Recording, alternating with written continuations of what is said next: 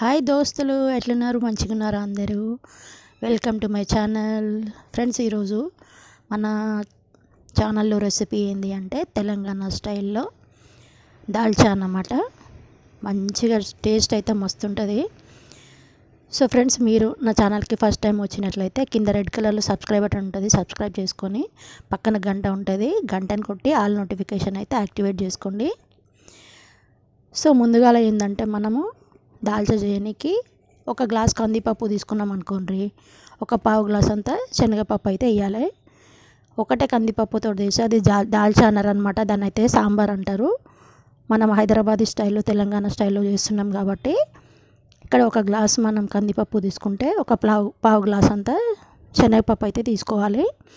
So వీటిని ఒక అరగంట నానబెట్టి తర్వాత కుక్కర్లో అయితే ఉడకబెట్టి మెత్తగా ఉడకబెట్టి పెట్టుకోండి పక్కన. సో శనగపప్పు మాత్రం తప్పకుండా వేయాలన్నమాట. సో ఈరోజు అయితే మనం పక్క హైదరాబాదీ స్టైల్లో అయితే దాల్చను ప్రిపేర్ చేస్తున్నాం అనమాట తయారు చేస్తున్నాం. సో నేనైతే పప్పు ఉడకబెట్టి పక్కన పెట్టిన ఇక్కడైతే ఒక గిన్నె తీసుకున్నాను అనమాట డేకిసే అంటారు దీన్ని అయితే మన హైదరాబాద్ భాషలో. సో దీంట్లో కొంచెం వేడైన తర్వాత ఒక రెండు టేబుల్ స్పూన్లు అనుకోండి టేబుల్ స్పూన్ అంత అయితే మంచి నూనె పోసిన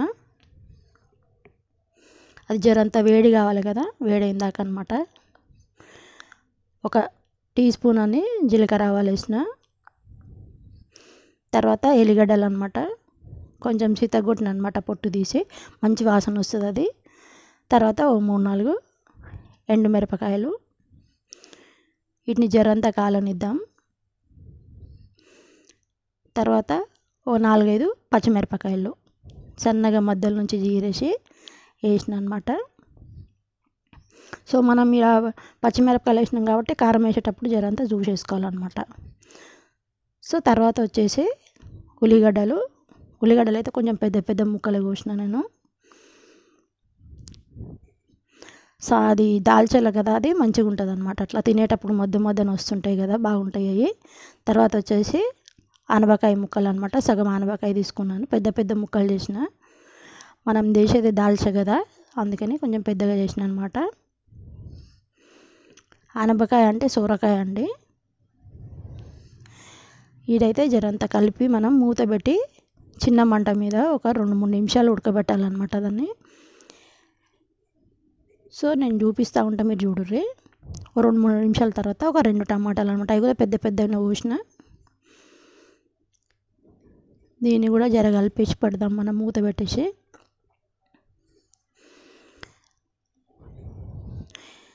ఏదో ట్రై చేస్తున్నా తెలంగాణ భాషలు మీకు చెప్పడానికి. ఎందుకంటే నా ఒరిజినల్ అయితే ఇలాగే ఉంటుందండి భాష. సో తర్వాత వచ్చేసి రాళ్ళు ఉప్పేసిన నేను దానికి సరిపోయేంత. ఉప్పు వేసి ఏంటంటే మనకి జల్దీనే ఉడుకుతాయి అనమాట ఆనపకాయ.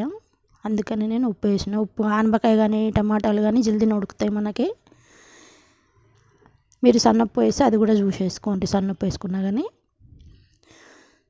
సో మూడు నాలుగు నిమిషాల తర్వాత ఒక హాఫ్ టీ స్పూన్ అంత అల్లం వెల్లిగడ్డ వేసిన.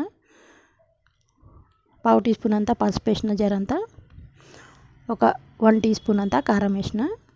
ఎందుకంటే మనం పచ్చిమిరపకాయలు వేసినాం కదా అందుకే కారం తక్కువ వేస్తున్నాను అనమాట పసుపు ఎందుకు తక్కువ వేసినంటే మనం పప్పు ఉడకబెట్టేటప్పుడు పసుపు వేస్తాం కదా కొంచెం అంతా.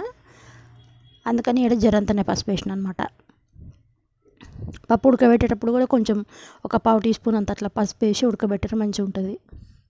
ఆడ ఉప్పు వేయకుండ్రి పప్పు ఉడకబెట్టేటప్పుడు ఎప్పుడైనా కానీ సో ఇది కూడా ఒక రెండు నిమిషాలు ఉడకబెట్టాలన్నమాట. కారం అంతా ఉడుకుతుంది కదా. తర్వాత ఒక పెద్ద నిమ్మకాయ సైజు అంత చింతపండు అయితే నానబెట్టి దాన్ని చింతపండు రసం తీసుకున్నాను అనమాట అది వేసిన.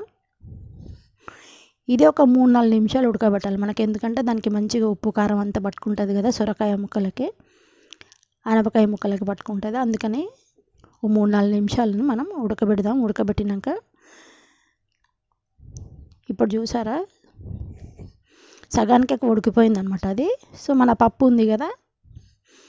కందిపప్పు కొంచెం అంత శనగపప్పు కలిపి ఉడకబెట్టిన మనం. జరంత పసుపు వేసి.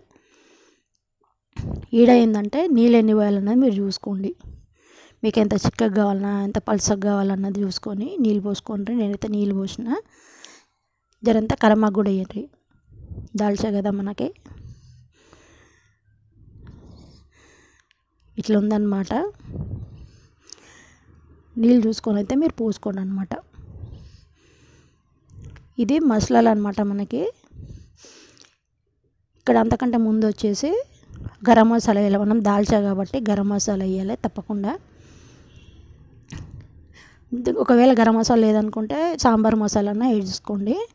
సో ఈ మసాలా చూసిండ్రు కదా ఇదైతే మనం ఇంట్లో ప్రిపేర్ చేసిందనమాట ఎక్కువ అయితే మనకి హైదరాబాద్లో ఏమంటారు ఇట్లాంటి దాల్చా కానీ వేరే ఇట్లాంటి చారులు చేసినప్పుడు వేస్తారనమాట ఇది ఎలా తయారు చేస్తారనేది నేను ఇక్కడ ఐ బటన్లో లింక్ ఇస్తా వీడియో చూడండి.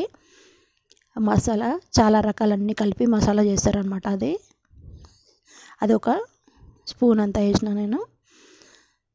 సో దీన్ని ఇప్పుడు మసాలా పెడదాం కనీసం ఒక పది నిమిషాలన్నా మనం మసాలా పెట్టాలన్నమాట సో నేను మసలు పెడతాను చూడండి. ఇక్కడైతే మరగడం స్టార్ట్ అయింది మసులుతుంది. సో మనకి ఇంకా కొంచెం సొరకాయ ఉడకాలన్నమాట ఉడకలేదు మొత్తం అది. ఈ చూసిరా ఈ నురగ నురగ అంతా కొంచెం పోవాలన్నమాట. పోతే అప్పుడు కరెక్ట్గా మనకు మరిగినట్టు అనమాట దాల్చా అనేది. ఇదిగో ఇట్లా అనమాట ఇట్లయితే మనం మరిగిపోయింది అనుకోవచ్చు. ఇక్కడ వచ్చేసి నేను లాస్ట్లో కొత్తిమీర వేసిన అంతా కాడలు ఉంటాయి కదా ఆటకి కూడా వేయండి మంచిగా ఉంటుంది ఈడైతే నేను స్టవ్ బంద్ చేసిన. చూసిండ్రు కదా మన దాల్చా హైదరాబాద్ స్టైల్లో దాల్చా అయితే ప్రిపేర్ అయిపోయింది. జల్దీన అంటే జల్దీన అయిపోద్ది మరీ అంత లేట్ ఏం కాదు. మనం పప్పు ఉడకబెట్టుకున్నామా అంటే జల్దీన అయిపోద్ది. సో దోస్తులు చూసారు కదా మన వీడియో నచ్చితే లైక్ చేయండి షేర్ చేయండి కమెంట్ చేయండి. అలాగే ఛానల్ని సబ్స్క్రైబ్ చేసుకోండి అబ్బా. కింద రెడ్ కలర్లో సబ్స్క్రైబ్ బటన్ ఉంటుంది చూడండి సబ్స్క్రైబ్ చేసుకోండి. నెక్స్ట్ వీడియోలో అయితే మళ్ళీ కలుస్తా ఫ్రెండ్స్. ఉంటా మరి.